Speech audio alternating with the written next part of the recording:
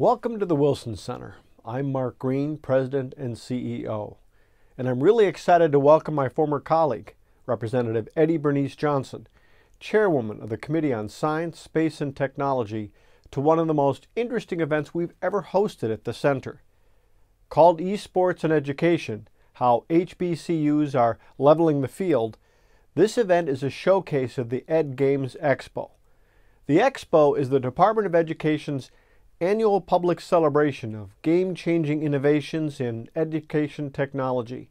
We are proud to showcase it and the Wilson Center's research on this topic, the only think tank in Washington with a serious games initiative. Right now, over 200 colleges and universities in the U.S. have an esports program, and more campuses every day are expanding their programming from extracurricular clubs to academic support of esports. Historically black colleges and universities are seizing this opportunity for innovation and new horizons in workforce development. They're building spaces on campus for esports, providing not only opportunities for students to play and build communities, but also to learn critical skills in STEM and beyond. Many thanks for this event go to the director of the Wilson Center's Serious Games Initiative, Dr. Elizabeth Newberry, She's not only our resident games expert, developing games on topics ranging from the federal budget to ocean plastics, but she's also passionately researching the global impact of esports and the way it is driving education. I'd like to thank the Department of Education for once again allowing the Wilson Center to host a showcase on this global issue, and I'd like to thank all of our speakers for being here. We appreciate also the technical expertise that Community, Microsoft, and the White House Initiative on HBCUs provided for this event. But most of all, I want to thank all of you for joining us here at the Wilson Center today. I hope you have fun.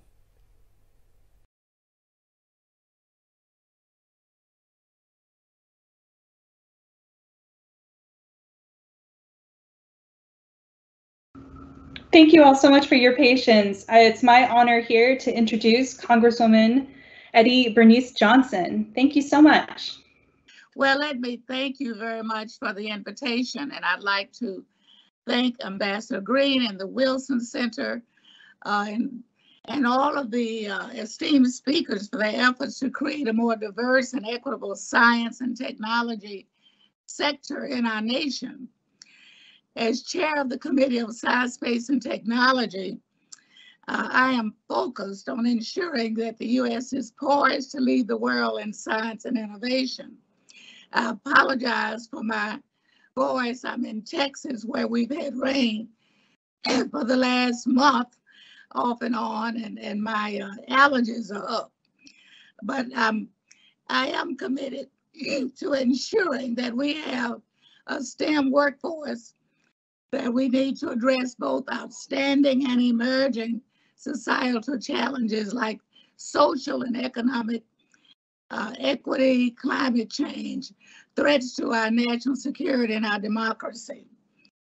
We only have to review where we are now uh, to see the value of federal investment in research and critically the importance of having a STEM workforce ready to answer the call when disaster strikes. A major factor in developing a STEM workforce that can meet needs for the American people is ensuring that STEM workforce mirrors the diversity of American people. According to the Bureau of Labor Statistics, STEM occupants are projected to grow over two times faster uh, than the total of all the occupations in the coming decade. That's why it's so critical that we put emphasis on diversity and equity and equal opportunity uh, because the STEM workforce will hold us back in this nation if we are not ready. Businesses are struggling to find employees with STEM knowledge right now and with looking for the skills that they need. Some people will not return to jobs after this virus because of the advancement of that's being made every day for the needs of the workforce and the readiness. The lack of diversity has also resulted in many technological innovations that have ignored the needs of marginalized communities. And artificial intelligence is coming into force. And so, with these technological innovations that are coming about now, we know can harm our communities if we're not ready.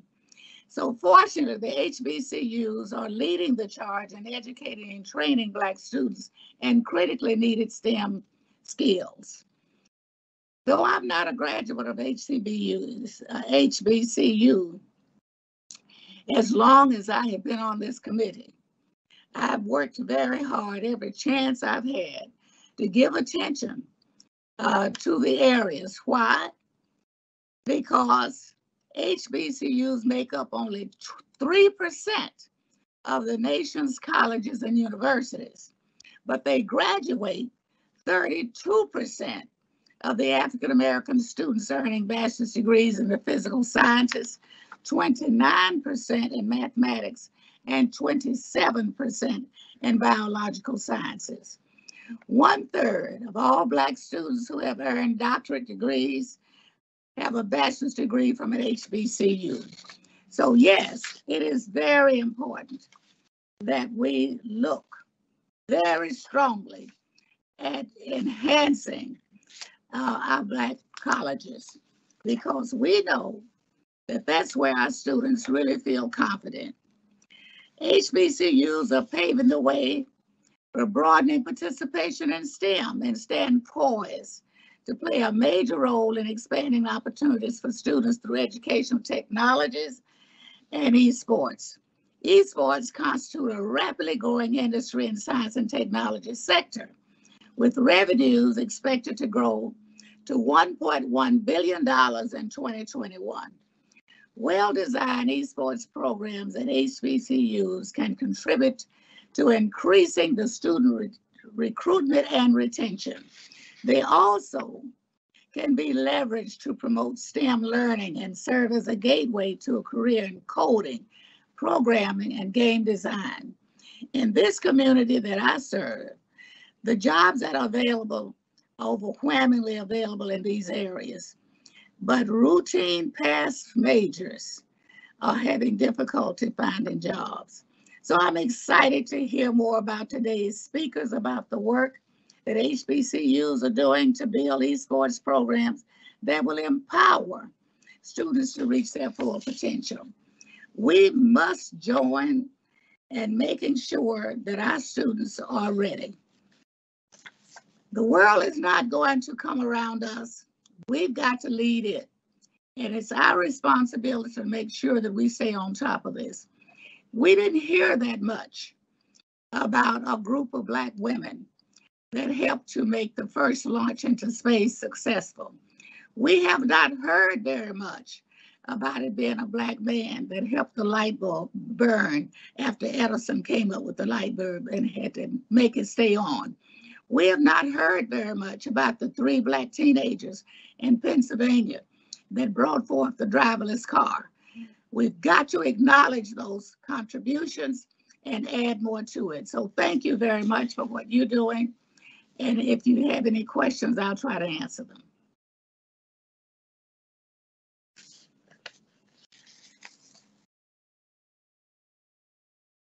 Well, thank you so much for that, Congresswoman. We really appreciate that. And um, I, I know that we likely have several questions coming out from the chat and we can relay them to you after the event if that's okay. Uh, we Thank have you. That's fine. Thank okay. you very much. Thank you so much for joining us. We really appreciate it. Well, great. Um, now we're going to, after that wonderful introduction on the state of play with uh, esports and the importance with integrating it with HBCUs, I'm going to provide a little bit of an overview here if uh, my system will allow. One moment, please.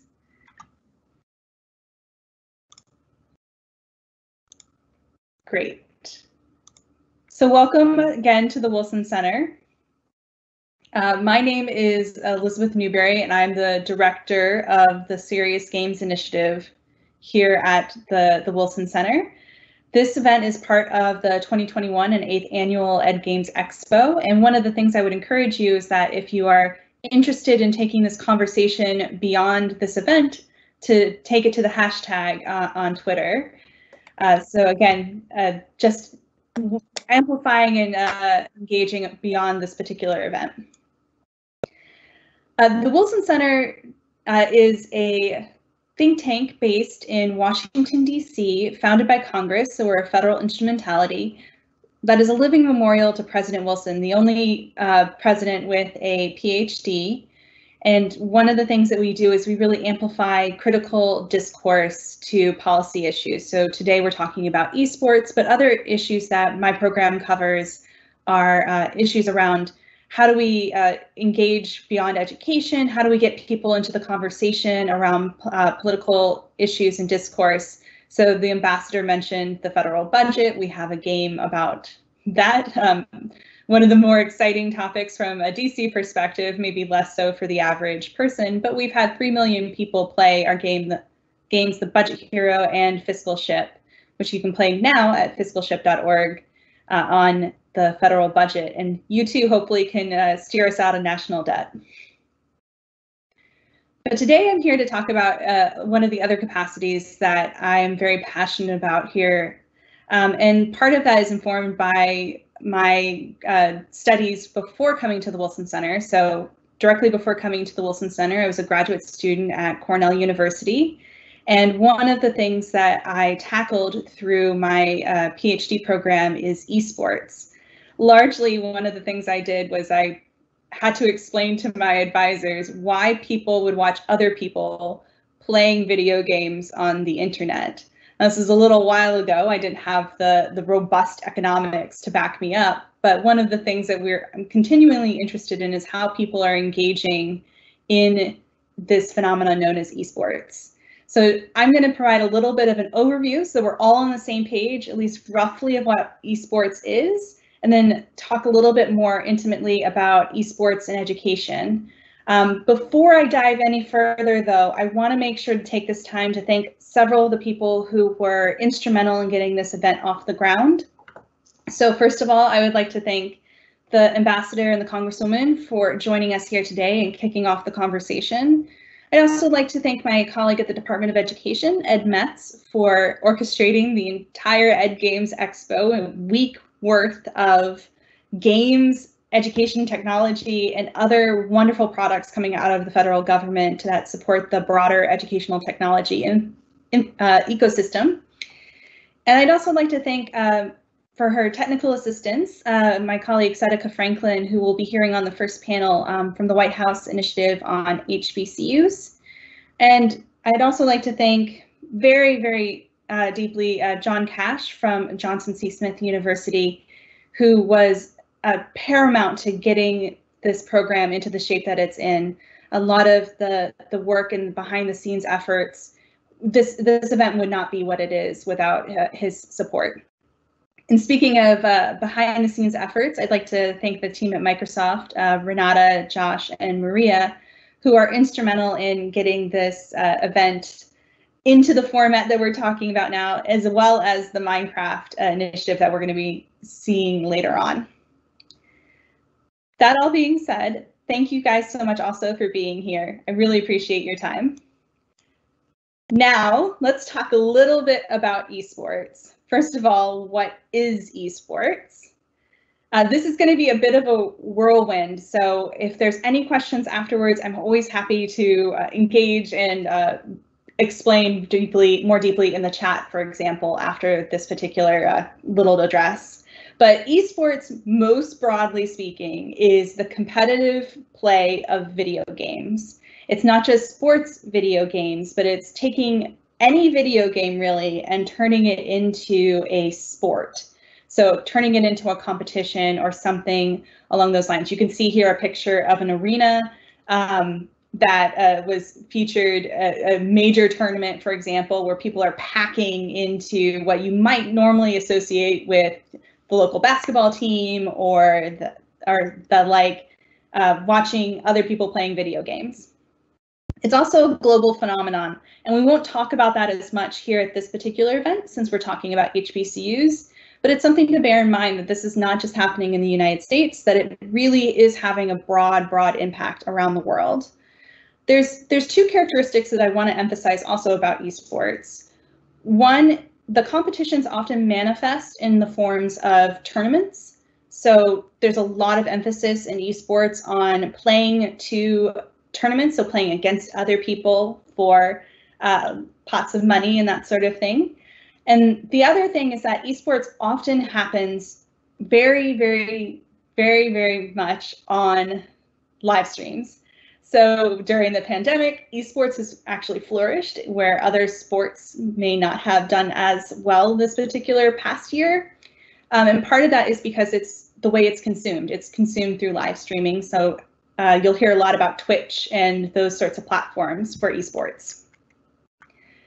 But beyond the tournament and the, the um, ways that people consume them, one of the things that makes esports unique is also the professionalization of esports. And there's a lot of emphasis on the professionalization of the play experience itself. So people who are paid or practice and work on teams to compete against each other across video games. Um, and the other thing that I mentioned earlier is that one of the things that these players are competing for is uh, often prize pools, but sometimes they also have uh, salaries and that sort of thing, and that's a growing uh, event. Um, but in any case, you can hear both uh, players at a tournament itself as well as um, ones that are, are winning a prize pool. But I like to take the lens a little bit farther away from the professional players and look at other things that make it a unique and interesting uh, component. So here you can see a screenshot of a Twitch stream. And one of the things that we see here is that there's a professionalization of casters and reporters and the broadcast itself that really makes esports what it is. So it looks very uh, uh, on the surface like something you would see on ESPN. The other thing that makes it really interesting is the uh, burgeoning uh, economics that support esports. So in 2020, according to a Forbes report, the esport market estimates were around 495 million. As the Congresswoman pointed out, that's going to explode very likely uh, in the next couple of years. Uh, the other thing that I'd like to emphasize here is the 3.1 billion hours of that are spent uh, watching esports. So 214 million revenue, 495 million people watching it, and they're all spending about 20 hours a week watching esports. At least that's the average. So it's a very, very growing industry. There's also an growing engagement across uh, government uh, in esports. And here I've, I've, pointed out some of the, the military engagement in the space. Some are using it as a recruitment tool, and others are investing in programs at college campuses that really are supporting the STEM pipeline. So here you see a, a, clip of Hampton University received a grant from the DoD to help create an esports space and an esports ecosystem on campus. Esports is largely not going away. It's about uh, technological innovations that are, there are lots of technological innovations that over the next couple of years are going to probably see extensive growth. So for example, we hear a lot of conversations around the expansion of broadband and 5G within the United States. And these are going to have direct impacts on the industry, uh, not only improving the play experience, uh, so lower latencies and that sort of thing, but also potentially broadening the uh, platforms that are available on to play. So for example, VR, AR, mobile gaming, those might be more um, uh, possible in the future. Uh, despite this growth, one of the things though I like to emphasize is that it's also still a very much emerging field and how to do esports is very much in flux. One of the things that I would point to is that there's a lot of ambiguity about what games are considered an esport. So is it just the top four titles on Twitch or are, is it a more expansive definition? And what we're seeing from a lot of educational spaces is that that expansive definition can bring in a lot of really unique audiences. So if you have an esports program that's not just League of Legends or CSGO, but maybe Just Dance is part of it, it builds a more inclusive uh, atmosphere there. Speaking of esports and education, one of the things that we uh, often ask ourselves is what is the current state of play in education? And I like to think of this in two discrete categories. One is the play component. So how are students orienting towards uh, campuses here? Uh, and then the academic component. So how are colleges and universities building programs around esports that are really trying to um, facilitate educational outcomes? For the play experience, we often see play enacted on college campuses through club esports, varsity esports, and league play, which I'll talk about a little bit more in a second. But then we're also seeing on the other side of it more formalization of academic programs. So how can students engage in the business of esports? How can we increase STEM uh, products around esports? So esports being a computer-based technology product is very much in lends itself to STEM, and a couple of our panelists will talk a little bit more about that. But there are also uh, growing academic concerns around esports and programs that are trying to negotiate those concerns. So, uh, for example, we have esports in law, which a couple of my colleagues uh, work over there at George Washington University on that issue. And there's also esports health, so creating programs around physical health that might support esports. Uh, there's a little bit more about that on the Wilson Center's website, which I'll link to in a second. But um, one of the things that we see here is uh, also a rise in collegiate leagues. There are a growing number of organized leagues in esports, and here I've come up with a sample of the different types of leagues. One is uh, the leagues that are uh, formed from the individual uh, developers. So Blizzard, for example, has a league called TESPA that engages around 40,000 students. And then there's also leagues that are coming more out of traditional sports leagues, so divisions of or parts of traditional sports leagues in colleges. Really, to understand how to do esports, though, one of the things I would say is you have to look at where esports is happening on campus. So there's spaces for play that are not professional um, to uh, in, in, the esports broader world. Here's two examples from my 2015 uh, field site observations. One is more of a LAN center, um, which has a game set up, and then the other is more of an informal pack and play where people bring the equipment necessary to an actual physical building. We're seeing a more of the former in college spaces where colleges are building what they're calling arenas to facilitate esports the benefit that a lot of colleges are hooking onto here with the arenas is really trying to make sure that these are spaces that are dual use. So they're not just for the play of esports, but they're also supporting academic um, uh, issues. So for example, uh, there are very expensive computers in a lot of these esports arenas and using those computers not just for the esports play, but also for classes and that sort of thing could, could really benefit from high grade computers. It would be a minor disjustice, though, to say that this is all golden opportunities on campuses, particularly when it comes to the play of esports. We're seeing some concerns growing around the inclusivity of esports this is a self-perpetuating cycle where we design esports programs or we design video games that are for particular audiences. So for example, there's a lot of research that looks at the gender inclusivity of video games. We're seeing this spill over into esports where there's a lack of gender diversity when it comes to scholarships for playing rosters. A recent AP study, for example, pointed out that there were nearly 90% of esports scholarships going to men in one particular league. Uh, this is also very true for other forms of diversity and inclusion. There's a lot of interest in trying to look at those. And one of the things I would challenge us to consider as we go through this program today is how do we make esports more inclusive? There's a lot of siloing effects with particular game genres and particular gaming communities. And thinking beyond what we have currently will really, I think, help us build more inclusivity in esports. How do we expand the titles that are available? How do we expand the conversations, the ways that we're doing esports? Within the HBCU context, sorry, uh, 67 out of 107 esport, uh, HBCUs have esports programs. this was a quick sample that we did at the Wilson Center of publicly available information on esports at HBCUs.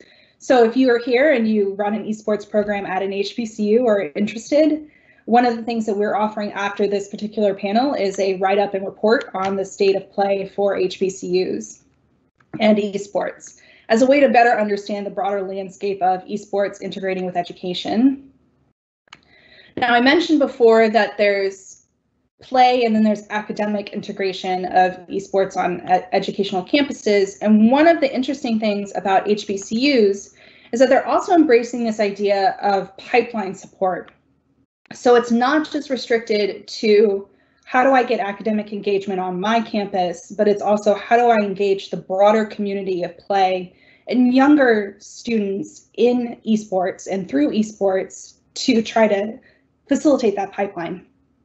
and hopefully we'll hear a little bit more about that again from our experts and leaders in this space.